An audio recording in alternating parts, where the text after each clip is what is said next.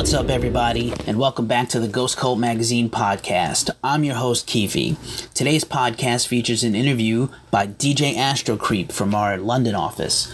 DJ Astrocreep interviewed JP Gaster from Clutch, all about Clutch's big 2019 plans, some key anniversaries you may not be aware of, and their current tour behind their new album, Book of Bad Decisions, out now on Weathermaker Music. Check it out sat with John Paul now from Clutch. Pleasure to meet you today, John Paul. Very nice to meet you. It, it's you've actually got two anniversaries this year, don't you? It's uh, ten years of Weathermaker and twenty five years since Transnational Speedway League. Okay, yeah, yeah. I hadn't uh, hadn't thought about the Weathermaker anniversary, but you're absolutely correct. Yeah, um, yeah. We're we're we're thrilled. Um, the the first record that, that we released, as you mentioned, was Transnational Speedway League. Um, that was a record that I think um, we learned a lot mm-hmm. on. Uh, we were a brand new band at the time, and we recorded in a studio called Razor's Edge Studio. And the reason we picked that studio was that uh, we'd heard some other recordings that came out of there that we were we were fans of. Uh, the Melvins recorded some records there, Lysol being one of them, uh, Houdini being another one, uh, and Sleep's Holy Mountain was was recorded there as well. Yeah, and um, those are still two bands that we very much you know look up to and and um, still enjoy listening to. And so we went to that studio and, and we tried to make a, a heavy record sort of in that kind of vein, I think. And uh, it was a great learning experience in your own style's slightly away from the, the normal style of a, a, rock drummer. Have you been influenced by, say, jazz drummers or something like that, maybe? Uh, absolutely. Um, yeah, I, I um, very early on, I, I was uh, attracted to uh, that sound. Um, jazz drummers to me, even before I started playing drums. Um, I, I, remember watching uh, either Buddy Rich or Gene Krupa or Tony Williams and these guys and watching what they did and thinking they were sort of superhuman in a way. Mm-hmm. And I still think that. Um, uh, for me, Buddy Rich is is still uh, when you when you talk about technical virtuosity, I still think he's untouchable. Certainly, there are there are a new generation of sort of super drummers that are out there and talented in their own right. But I, I still don't think anybody comes close to, to Buddy Rich when it comes to just just pure chops and energy. Um, there, were so many of the earlier rock drummers like Bill Ward, Ginger Baker, obviously all came from that blues, almost jazzy kind of absolutely background as well. And I, and I think that was one of the, when I did start playing drums. One of my earliest uh, inspirations was Bill Ward from Black Sabbath, and, and I think one of the things that that um, attracted me to his sound was was that you could hear those jazz roots. And as a 16 year old who was just starting to figure all this stuff out, it blew me away. It blew me away that the guy that's in Black Sabbath knew about jazz. You know, as a 16 year old, I never I would have connected those dots. Yeah. And of course, the you know we know that th- those roots run very deep, not just for Bill Ward, but for, for all the band. You know, there's a, there's a great appreciation there for blues and jazz.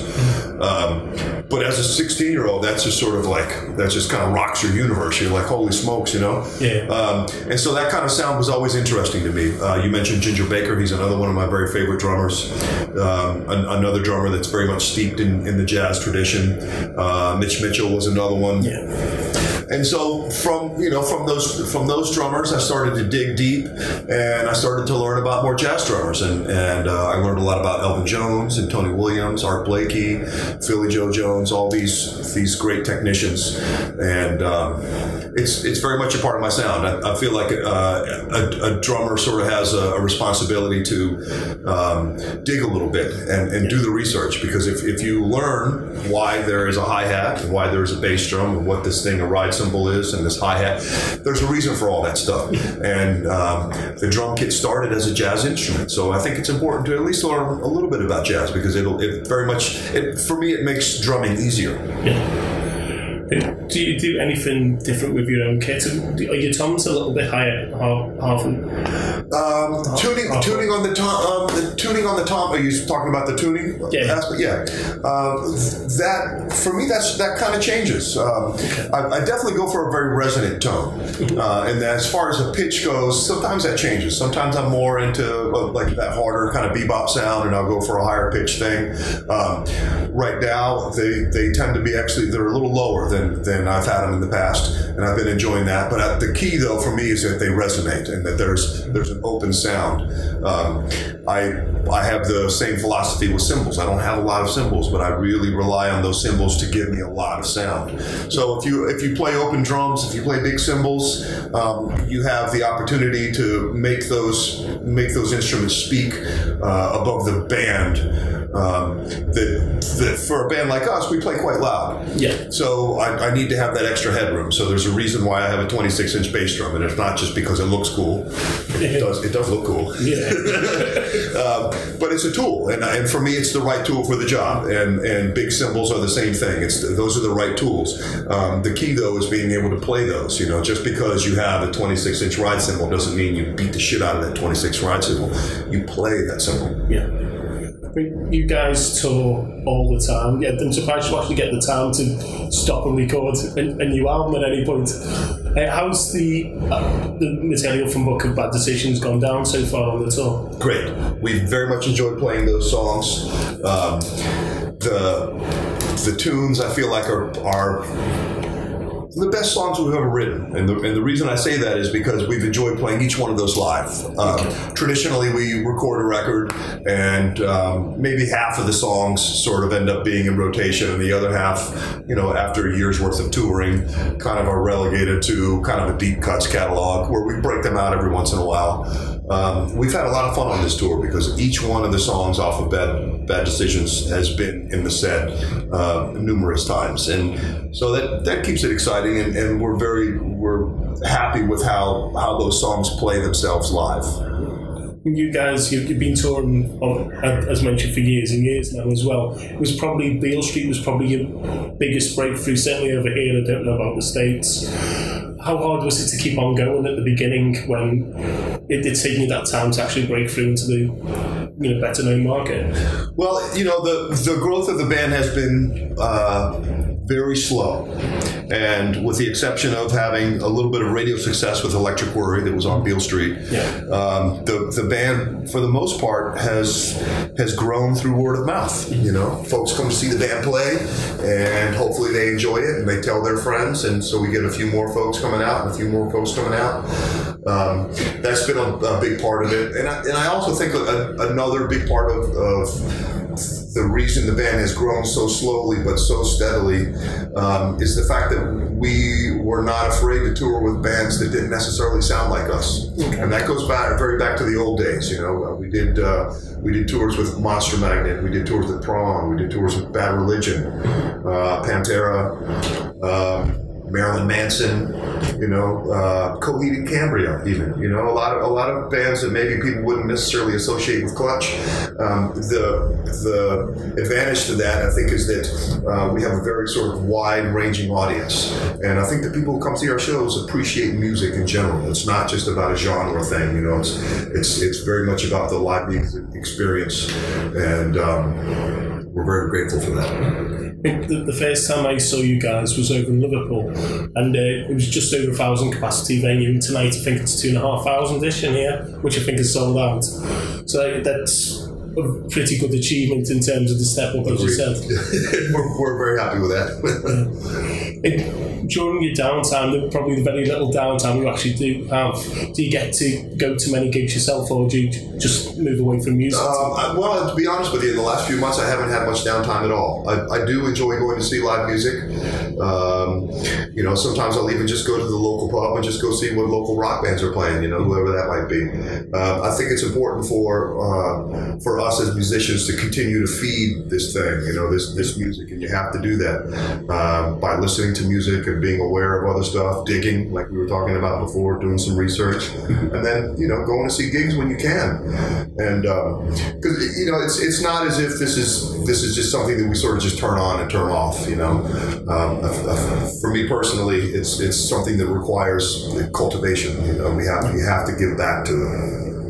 You've also involved yourself in producing some music now as well, haven't you? Mm-hmm. Has- have you got any more of those projects planned? Uh, well, I recently recorded a record with Lionize, and um, I, I, uh, I actually played drums on that record. And I've been producing those guys for many years.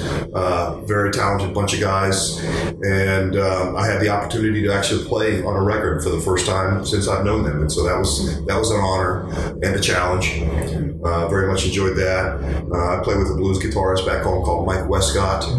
Um, he's uh, he's got a couple records out. Um, I'll be headed down to New Orleans in January to play with my buddy Mike Dillon and Johnny Vidacovich. I'm very excited about that. Um, I try to stay busy and I try to get into the projects that um, that are not like Clutch. You know, it's it's for to you know to, to get in a room with with uh, guys you know that make music that sounds just like Clutch to me isn't except not super exciting. You know, I'd much rather do something that's a little bit left field of that. Um, you actually did a couple of film scores, didn't you? I did, yeah, I did.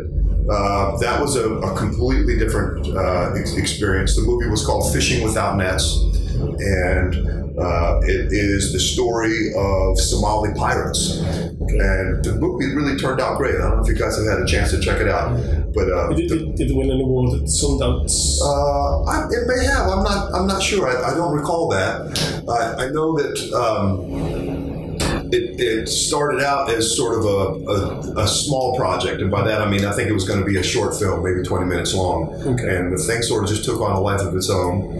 Uh, a friend of mine named Kevin Hilliard, uh, who plays in a band back home called Caverns that we had gone on tour with. Um, he, he does quite a bit of that kind of thing, and he he uh, asked me to to uh, score a couple scenes, and so I played percussion um, while I sort of watched these these scenes. One of them was a, a scene where they're loading this boat full of supplies. The pirates are. And uh, that was a great thrill. You know, that's something that was something new for me to be able to watch a movie and you know hear the stuff that I recorded in my basement be on the soundtrack. Was uh, art music for bass as well, which is a, a more kind of jazzy project. Yes, yeah, that's uh, Jay Turner, and uh, he is an incredibly talented man. A um, uh, very, very. Uh, he he plays the other stuff, you know. He never plays what you think he's going to play, uh, and playing playing his songs are a great challenge because when he brings the ideas to me, they are they are very loose, and um, it, it, it requires a different kind of thought process. And so each record that I've done with him, um, I've learned something from, and I, I very much enjoyed playing playing with him. With obviously you, you're doing the different projects on top of the clutch stuff. Is there any kind of different type of song that you'd like to cover for any of them? Say maybe a pop song or something like that. Uh, well, oddly enough, we have we over the last year we've been working on a few covers.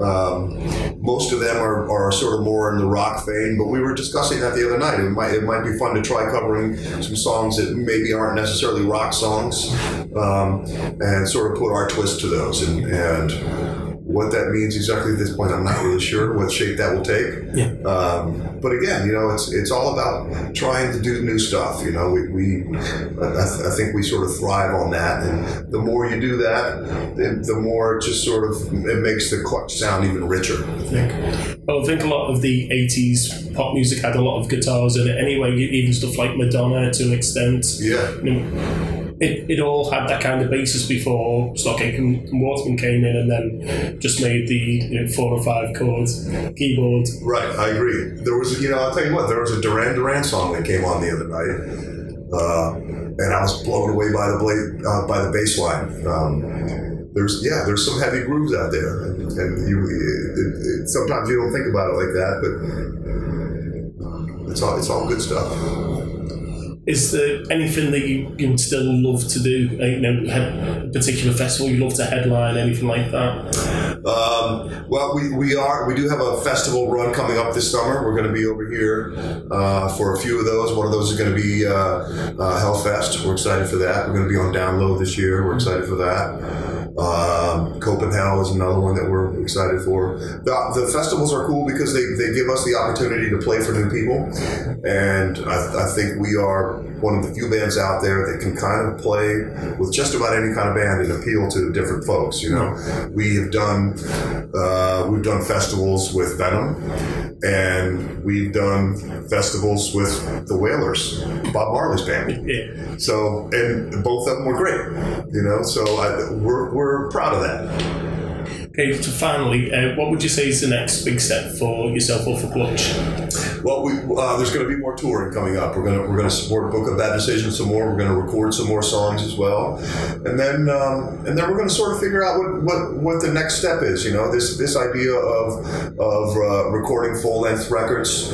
Um, I, I am sure that we will continue to do that, but we might play around with just releasing a few songs at a time in a singles kind of a fashion, Okay. um, just to see what what that might look like. M- Maybe a slightly different direction for what you have been. Perhaps, yeah, and, and that's the cool thing I think about streaming now. If, if you know what, if the artist can kind of embrace this idea, you know, sort of like all bets are off. You know, you, a, a band can record whatever the heck they want, and it doesn't even necessarily have to be part of their live set. It could just be a song that they think is interesting and cool, and you put it up there, and who knows what kind of a life it'll take on. So, um, while while the streaming industry is is frustrating at times because the revenue is not there like it used to be, it also does open up a lot of avenues to where you can you can hopefully um, put your music in front of folks that, that that might not have heard it usually. And Thank you so much for your time today. I know you're going to be quite busy, so we'll let you get going. Awesome. Thank you. Yes, thank you guys. I appreciate it. Great, great hanging out.